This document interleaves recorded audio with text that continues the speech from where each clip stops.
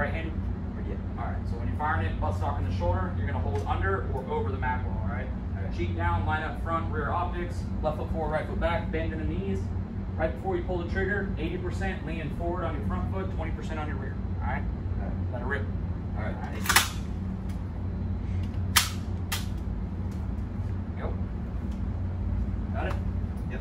Just like that, yep. Kick the right foot back. There you go.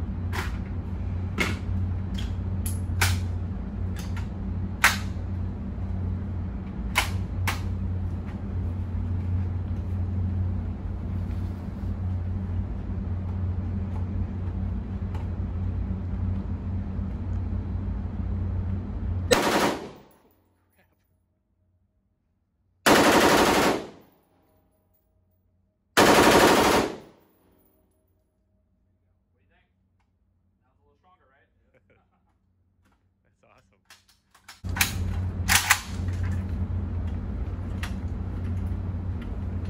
Kick that right foot back and lean all in. There you go.